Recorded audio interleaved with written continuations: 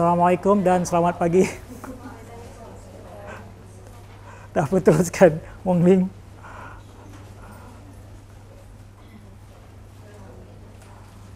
Okay, um, any question that you like to ask from the previous lecture? Anything yang um, maybe you need clarification or if there is any confusion before I proceed with uh, our discussion on the gelatinization. We are, we are still discussing uh, gelatinization and today we are going to discuss about some of the factors which can uh, affect gelatinization. Yeah? Then after that we will move on to uh, discuss about retrogradation. Uh, in Edmodo, uh, I have shared a link to some of the online presentation from the industry. As much as you can as much as, as possible, please watch those industry presentation. They are experts. So when they talk about modified starch, I think there is a, recently I shared one link, modified starch 101, I think, right? Yeah. Those are given for, uh, by expert from the industry. They are the expert. I'm not expert. Yeah? Well, maybe less expert than them, maybe. So I would encourage you to watch those presentation and if possible, if you can find time, do a summary. And if you feel like sharing, sh share it on Edmodo. So now, um, so no question. Good. So I take it as you understand everything. Um,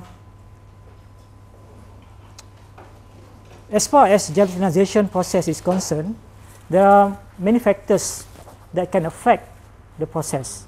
The starch itself, the properties of the starch itself, and the processing condition that we use, the types of uh, ingredients we use to, uh, you know, that we add as part of the food uh, formulation in the food to, be, to, to make a product. So these are all the different things that can affect the gelatinization process. When I say affecting gelatinization, what I mean here, the degree of cooking, the degree of gelatinization, the extent, how fast, how much, yeah, and uh, so some in, in some condition we want the starch to just cook or gelatinize sufficiently. In some cases, we do, uh, we want the starch to uh, we don't want the starch to overcook you know, because when you overcook the starch, maybe you get other other effect. And in, in some cases, you can get a situation where you undercook the starch, meaning that you don't get complete gelatinization. So if you don't get complete gelatinization, but in the actual product you want to achieve certain degree of gelatinization, then you will have problem later in the quality of the product, you know. So these are the things we have to understand. If you look at this diagram, this is actually a schematic presentation of the microstructure of potato starch dispersion in relation to viscosity and iodine binding capacity. Iodine would bind to the amylose component to form the blue color. Uh, for amylopectin, um, the color is not dark blue but maybe you know just like purplish or brown color. So we can actually measure the binding of iodine to the starch, to the amylose component by using titration or by using spectroscopy method to see the changes in the uh, blue color. So you can measure using a visible spectrophotometry in the visible range. Then you can measure the absorbance and so on. So by using this technique, we can monitor the changes in the iodine binding capacity of the starch for the whole duration of the gelatinization. And we can plot a graph like this. And at the same time, we can measure the changes in the viscosity. So now on this graph, we have two things here. One is the iodine binding capacity, and another one is the changes in the viscosity as a function of the cooking of the heating uh, program. and we can measure the changes in the viscosity. Uh, we measure here on the, uh, SI unit Pascal second rather than uh, the RVA unit. Then we measure the iodine binding capacity. And of course, we can also look under the microscope from the previous lecture. I think we have seen this, the changes from the discrete granule in the native granule before cooking and it start to swell and deform and break up, disrupted and finally form like a homogeneous uh, colloidal uh, solution. But uh, in, in this form, you know, you have a ghost granule or deformed granule. So we can see here the, the extent of uh, gelatinization during the pasting process can uh, can be very different depending on how much shear we put in, how much cooking, how long is the holding time, how what how high is the temperature, whether we cook at atmospheric pressure or we cook under elevated pressure uh, like in, in the autoclave or in the retort. So this would determine whether we will get this, this, this or that. And if we measure the iodine binding capacity at each of this stage, you will see that it will show a trend like that, increase and after that more or less plateau. At the same time, you can see the viscosity start to decrease. So I think this can we can we can explain this quite easily because when initially the viscosity increase because the granules swell and the viscosity of the continuous phase also increase because we have the amylose the short fragments or short chain of linear amylose to leach out. It will increase the viscosity of the continuous phase at the same time the granules swell. So both effect would actually increase the viscosity up to a certain point when the granules start to break up rupture. Just like the balloon burst.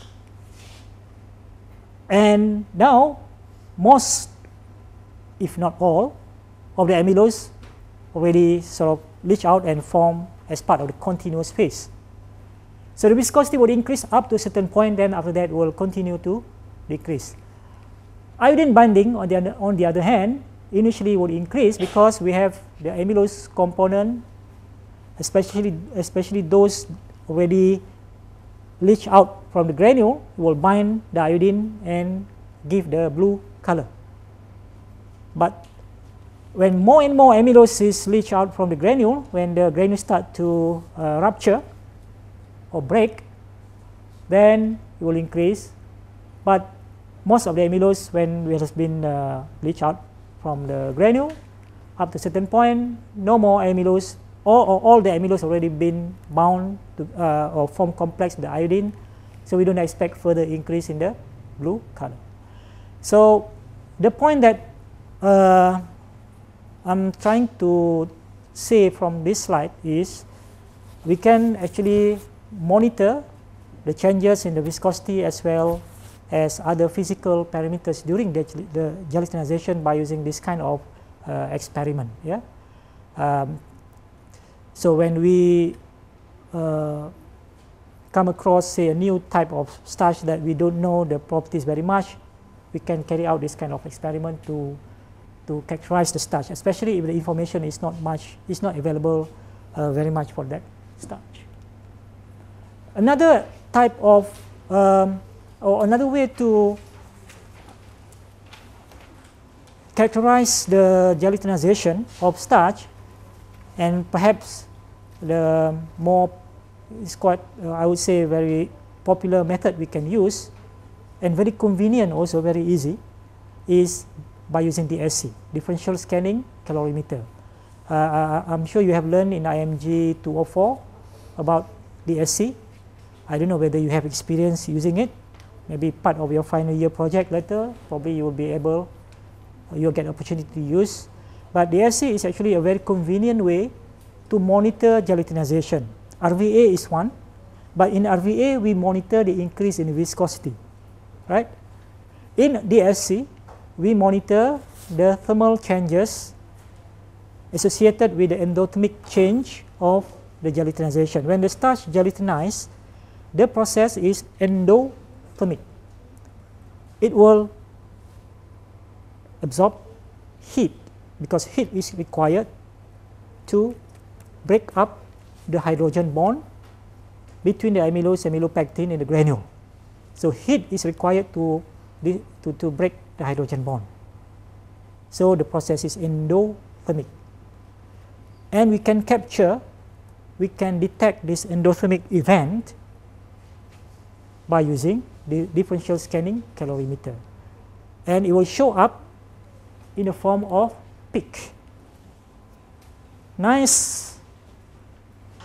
Well, this is very nice because it's very sharp. but usually though you don't get that very sharp. You probably get you know something like this. This to me very sharp, but I think it's a I don't know whether it's a real data or just schematic, yeah.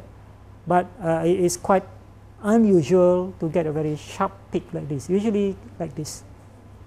That's a typical of starch. If you have a pure crystal, if you have a pure crystal, you put in a DSC, pure crystal means 100% crystal. You put in the DSC, you heat up above the melting point of the crystal, usually you will get a sharp peak like this. Because pure crystal would have a sharp melting point. So all the crystal would melt more or less at the same time. melt. Of course, you don't hear the sound like that. But it will melt just like Lego. You know, you have a structure, then you uh, you know do something to collapse it to yeah. If you have 100% crystal, then you'll get this very sharp peak. But in starch, remember starch is semi-crystalline, right? About 30%, 40% crystalline phase. The amylopectin component in starch, right? Contribute to that. And also the crystal in starch, that the A pattern, B pattern, is not really a perfect crystal. They have a different stability, they have a different, you know. So when they melt, they don't melt like immediately. It will take some time. So this least, the least stable, yang paling, paling kurang stabil, the least stable crystal will melt first, followed by the more stable crystal. So that's why in DSC of starch, you would see something like this, more broad. In fact, when we carry out the SC analysis for different type of starch, you will get you will see the the broadness or the narrowness of the endothermic peak is different. That tell you that tells you something about the the the the, the nature of the crystallinity of the starch. If you get a sharper peak means the starch has a more homogeneous crystal structure because they melt at a narrow range, narrower range. If you get more broad, meaning they have a more broader uh, crystalline structure. That gives us information about the starch when we do a comparison. Um, what you see here, um, when we carry out the gelatinization in excess water, remember what is excess water? More than 60%. So in the DSC, usually we have a small sample pan very small, very small. You have to handle with care. It is made of aluminium. There are two parts, the, the, the pan, the bowl, and the lid. Yeah?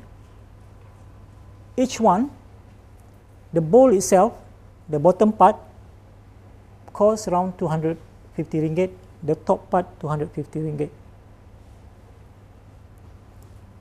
No, sorry, not that expensive. I mean, uh, no, it's about now 10 to 15 ringgit each. So one sample pen when you run the analysis uh, BSc, it costs about 25 to 30 ringgit. So better be careful. It's expensive analysis. Yeah. So you put the sample inside the sample pen. It's very little, what 2.5 to 5 milligram. Then you add water. So usually in excess water means in the DSC, we add one part of solid dry starch, three parts of water. That is excess water. Under this condition, you will get complete gelatinization if we heat the starch above the gelatinization temperature and you will get this kind of peak, a single peak. A single peak, but maybe not this sharp again, but a single peak. And uh, the uh, scientist has given this the name for this peak as G endotherm. G. Yeah, G endotherm. So when you read a book, you, you come across the term G endotherm, M endotherm. So G refer to this single peak when starch is gelatinized under excess water. That's all. So now what happened now? Instead of 3 to 1, we reverse. Yeah? 1 to 3, 1 part of water, 3 part of starch. So in this case, we get, we now we have a, a situation of gelatinization under limited water. So what happens under limited water? We don't get, we will get, when we do the DSC, we will get this kind of peak. There are one endotherm here, another endotherm there, which is more broader. And this second endotherm, yeah, is called M endotherm. And this will occur at higher temperature. So we call it G plus M.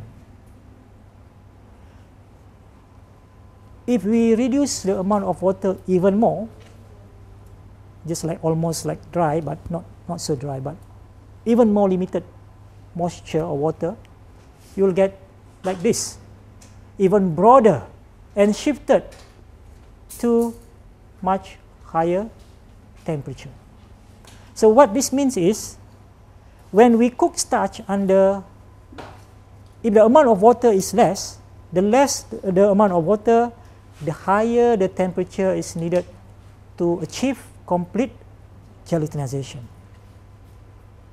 The gelatinization temp or put it another way, the gelatinization temperature or the range of gelatinization temperatures now would be shifted to a higher temperature when gelatinization is done under limited amount of water. So this is important because now this, this, this is an important fact. Less amount of water, higher temperature is needed to cook the starch completely.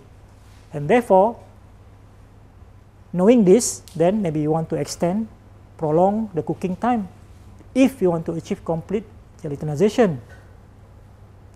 Or we can uh, other than prolong prolong the time we can increase the combination uh, we can also increase the temperature. Or we can cook the starch under elevated pressure rather than atmospheric pressure. So we can cook under in the autoclave or you can put in the retort yeah? Or how many or? We can try to uh, we can we can use a starch we can which can cook at lower or which can start to gelatinize at lower temperature meaning we can uh, we, we can use a starch with lower onset of gelatinization so these are the different ways yeah we can we will come to that uh, so, so the conclusion from this experiment, the onset of gelatinization shifted to a higher temperature when the water content is becoming limited. So, and we can see the effect of this. Yeah. I've asked this slide, I've asked this question a few times in the exam already uh, because this is very important uh, you can see here this example of excess water content. So we can, we can see here if complete gelatinization is achieved. This picture below is a real picture from a real experiment. This picture below shows that, uh, and we put the dye actually, in this case we put pewarna dye. The green color is actually protein because this is actually wheat flour. It's a bread, it's a bread. So we use a, a the, the green color there is actually a protein. But you can see actually the blue color there, which is the the uh, amylose iodine complex. So you can see here, all, this is a system under limited moisture, limited water. Some gelatinization still occur, but limited. And you can see the granule structure still visible, although they are deformed, yeah, but they are still there. So this excess water system is an example of, uh, you know, product like soup, yeah, product like soup. This one product like uh, cookies, where we have very low amount of water. And in cookies also, we have sugar. So when we add a lot of sugar, sugar then sugar itself is very hydrophilic molecule and they are small molecule so they can compete with water more efficiently than the starch. So when we add more sugar, they will add more water molecules and now less water molecules available for starch to gelatinize. So that is also uh, give the effect of similar to low moisture system. When you add sugar or anything that can bind water effic more efficiently than starch, that will also give the same effect like low moisture system as well. So meaning that when we add more sugar, the effect will be will increase the gelatinization temperature of the starch. So when we add more sugar, if you want to get complete gelatinization, then we have to take a few steps to to to uh, uh, overcome that problem. Yeah. So that is the effect of ratio of water to starch on gelatinization. Let's look at another effect of, in this case now, is a processing condition. We have to take a few steps to to to uh, uh, overcome that problem. Yeah. So that is the effect of ratio of water to starch on gelatinization. Let's look at another effect of, in this case now, is a processing condition. Shear. Why we have shear? We have because we mix we homogenize or you know so always there's some form of shear during the processing. So in this case we have normal maize and we have waxy maize. Remember the difference between normal maize and waxy maize?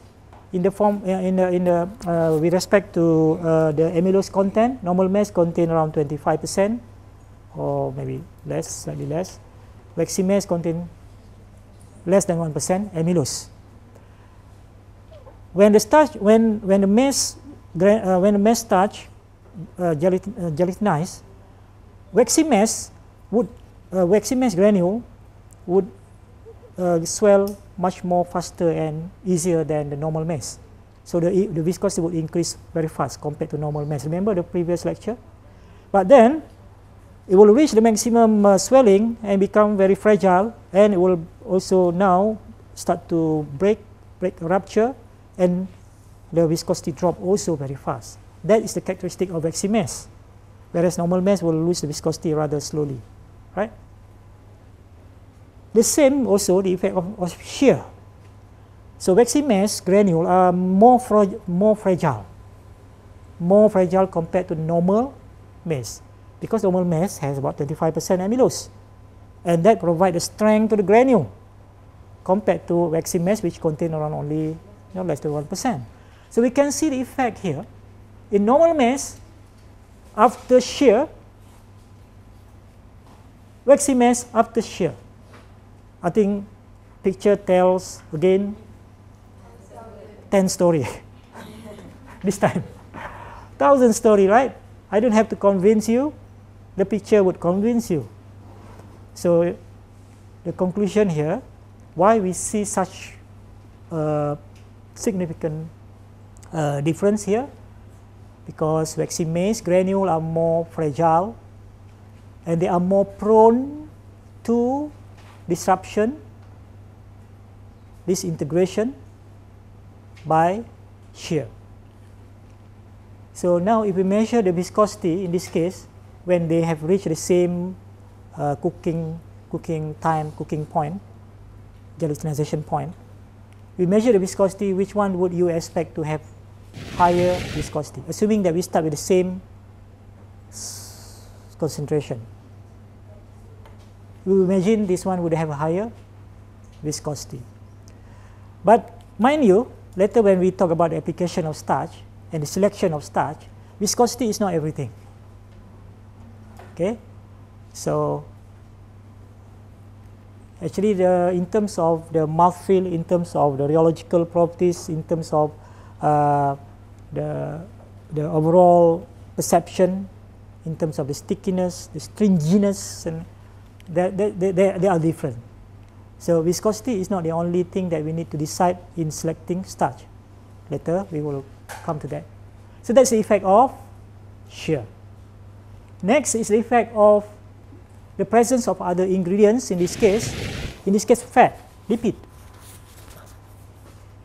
In most food we always have fat yeah? So when we have fat the fat would now uh, modify the gelatinization property of starch. In what way?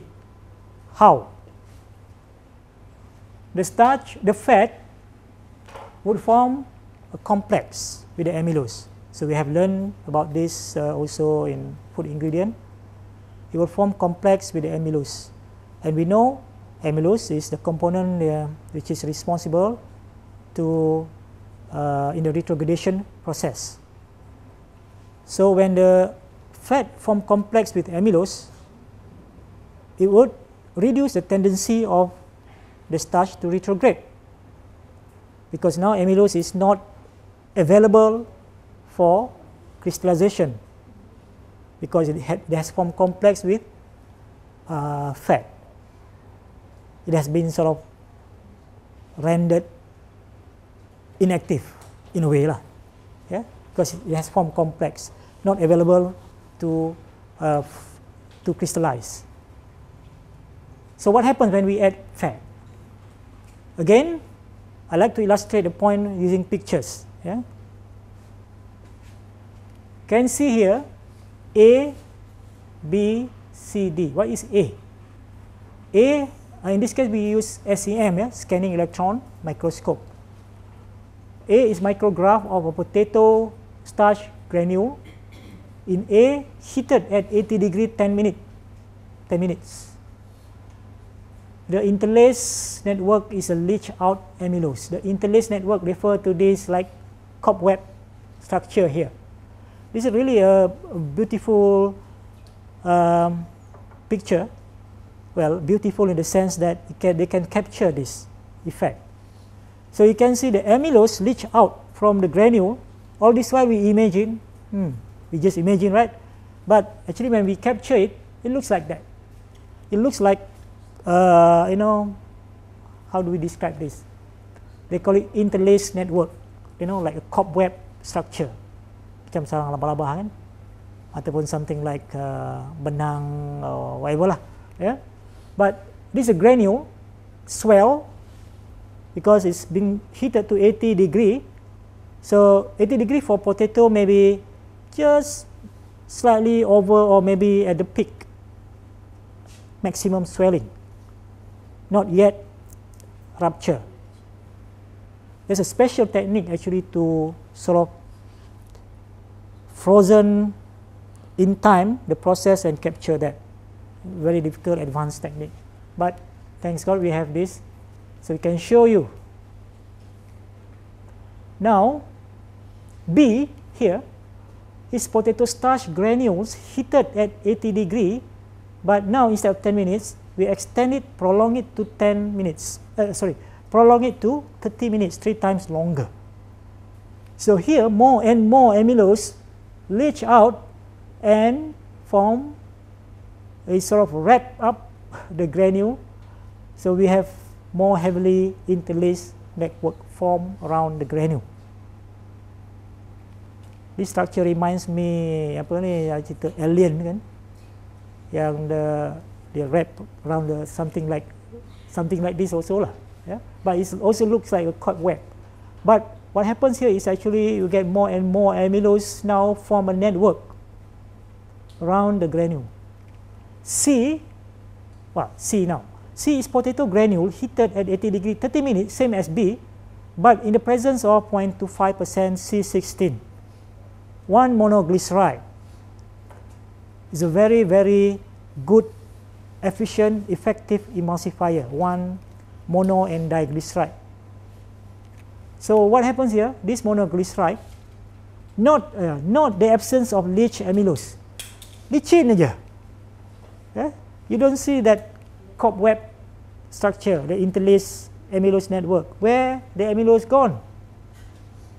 Where has the amylose gone? Huh? Inside? Or disappear? Or dissolve? Huh? Dissolve.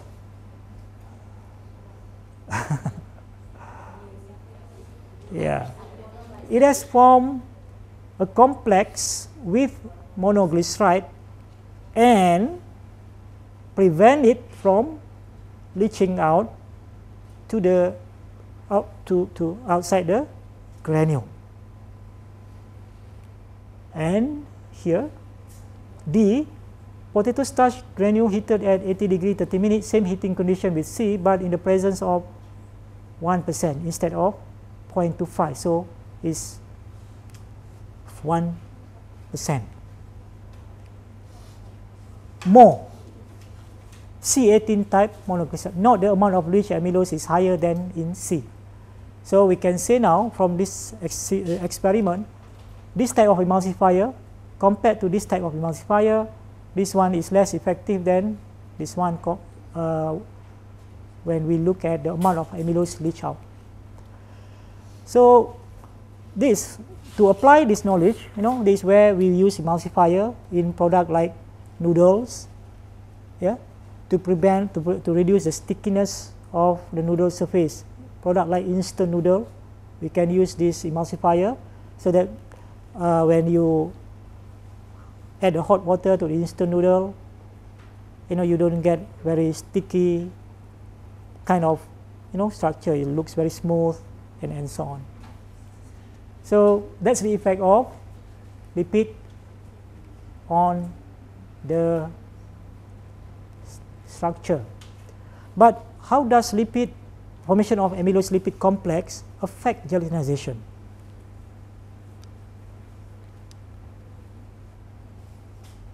It doesn't say here, it just show you, but how does it affect the gelatinization? Would it increase or shift the gel gel gelatinization temperature to a higher or lower temperature? Higher. Why?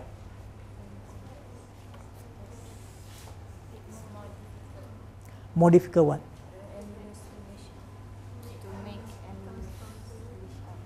Yeah. Yeah, you can see the more difficult for amylose to leach out, but how this affect the gelatinization?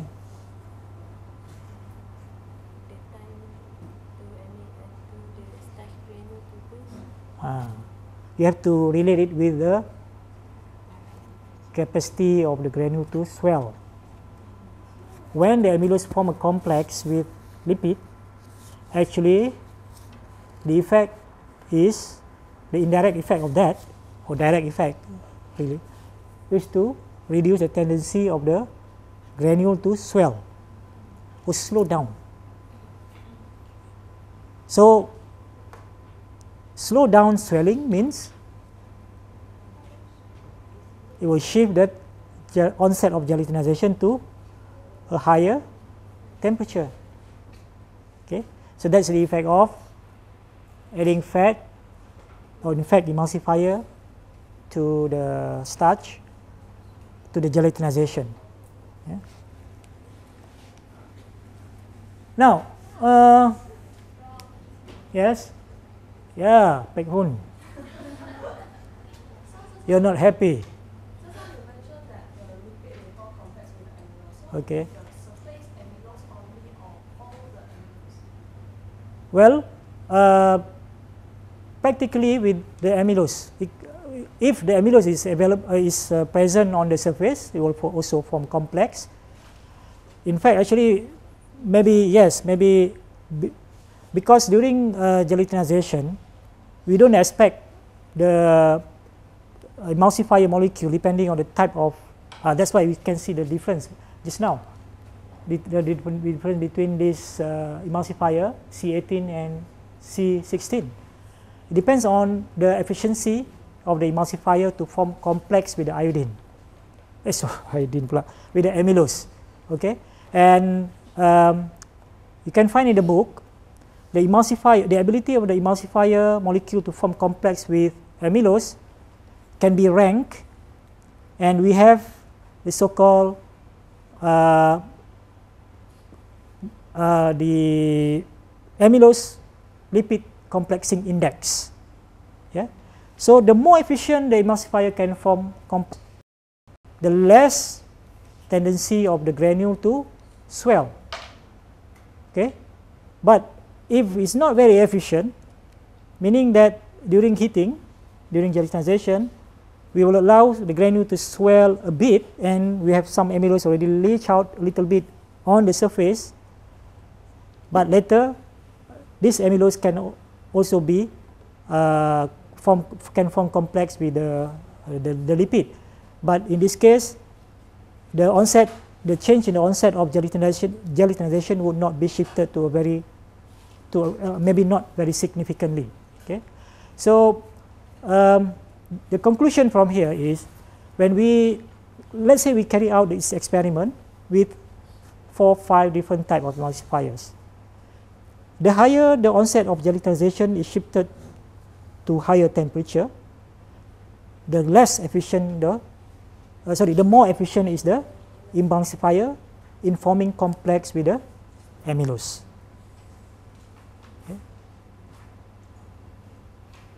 Uh. depends depends depends on the size of the uh, of the molecule if we, if we use, because the, the, the fat actually during uh, cooking can also break down into fatty acid, right? Especially if the pH is quite low and so on. So depend, depending on the length of the fatty acid chain and, and so on, if you use emulsifier, depending on, because remember, the emulsifier also can, can have a C18, uh, can have C8, C16 palmitic. So the structure depend also on the structure of the polar group. If you still, if you can recall when we learned about emulsifier, the polar group can be very small. The polar group can be a big chain also. The polar group can have branch also. And the emulsifier chain, the tail, it can be a C18 linear. It can have branch. It can have double bond. It can have so depending on the structure. That's why different emulsifiers have different efficiency as we saw in this picture. Uh, because we don't look at the concentration alone. This one is C18 and the C, this one is C16, one monoglyceride. This one, about 0.25%. This 1% C18 type monoglyceride. Again, it is the how efficient the emulsifier forming complex uh, with the amylose.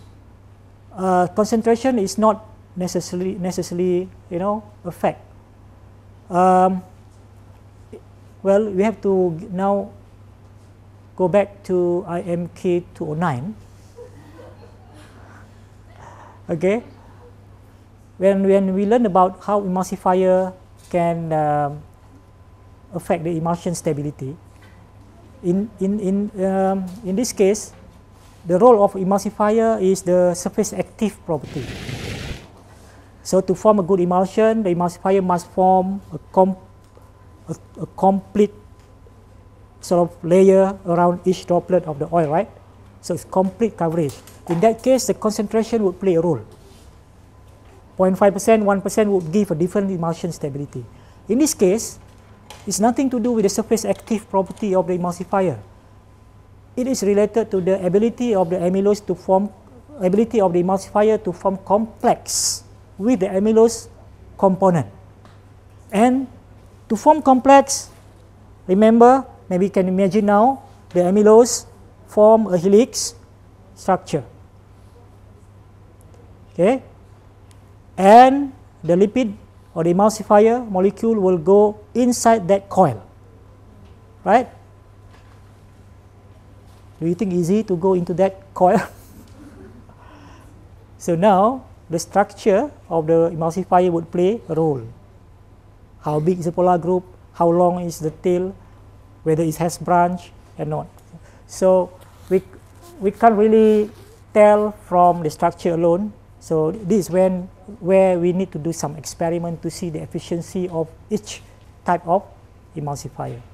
But of course, we don't really have to do that. There's a lot of information available the industry already know which one is more efficient than others and you know so the the guideline that we can use one um, if you want to choose the emulsifier especially in the bakery uh, application for bread cookies cakes and, and so on is by looking at the complexing index of the emulsifier this information is available this is another um, picture that tell us a thousand story again we have here control. Um, in this case, this is kanji kentang beramilosa tinggi, high amylose potato starch. Uh, this is actually the hybrid type of potato. Uh, in nature, secara semula jadi, there is no high amylose potato starch. But by using hybridization as well as genetic engineering, maybe all starch can be made high amylopectin or high amylose. Yeah? So in Europe, because Europe, they eat a lot of potato. So they do a lot of research in potato. In German, there is one research institute, Potato Research Institute. in Thailand, we have Cassava Research Institute. In Malaysia, we have Sago Research Institute in Sarawak, CRAUN, eh? CRAUN Research. So anyway, uh, this experiment compares high amylose starch with no, it's a high amylose starch. All, all of these are high amylose starch. But the variables here is the heating time. Right? Heating time, yeah? Yeah, heating time. We have 60 here. Control means without heating. Then we have here increase from 60 to 100. So we add iodine. I read the text down here. the effect of high amylose starch on the texture of cooked potato. Uh, this one not. This one the potato tuber. Cook. Then we take a slice it, a slice, add iodine, look under microscope. Uh, it's not powder. We cook the powder. We cook the potato tuber. Then we take a slice, add iodine, look under the microscope. Uh, and the effect of this on the texture of cooked potato. Sections of tubers from a control line and from high amylose starch line. Ah, this is high amylose. This a control line means the normal potato, 25% amylose. Stain with iodine after either heating at 60 or boiling at 100, 60 or 100. The starch of the control line gelatinizes and swells at temperatures above about 68. So the starch in the cooked sample swells to fill the cell completely. In contrast, high amylose starch has a much higher gelatinization temperature and cooking does not swell the granules of the starch appreciably, giving the potatoes a succulent texture with more free water. So the purpose of this study is to look to compare the texture when you bite the tuber between normal potato starch and high amylose starch. So when we hit to 60 degrees Celsius, we can see the normal starch already have some blue stain, iodine stain. Whereas this one, not so. And we can see the cell swell appreciably compared to this one. When we increase, maybe not very obvious here, maybe, but when we increase to 100, we can see the normal starch, the granules, the cell swell appreciably, but this one still not so. So when we have this kind of cell structure in the potato, so when we eat this high amylose starch potato, high amylose potato starch compared to the normal starch, it will give the high amylose starch here will give a more succulent structure. How do I describe that? Yeah? More succulent structure with more free water. Yeah? How do I describe the succulent? But I think you can you imagine succulent structure? Cannot, huh? I can. the normal starch maybe maybe you know just like when you eat normal starch normal potato you cook the apa ni the potato you eat but this one probably more you can feel the structure more there's more bite and it's supposed to sort of um, retain more free water so the when you eat the, the high amylose potato starch you're supposed to you know because there's sort of more water release when you bite the starch. I have a hard time to explain this. but I think I can imagine that. Yeah? If you cannot, then uh, you go back and sleep and try to imagine. okay, we stop here. So see you all next week. Eh?